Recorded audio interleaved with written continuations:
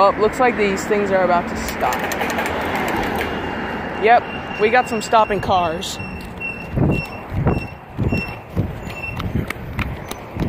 Okay, you can go through now. They can go through now. But eight seconds. Alright. Yep, this is Yit. Yeet. Look at this one. It's got a problem too. Apparently this is new too.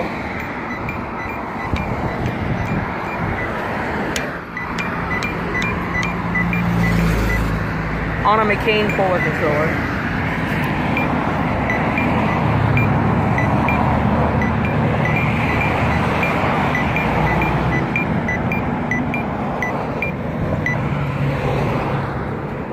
We got some people that are waiting to turn.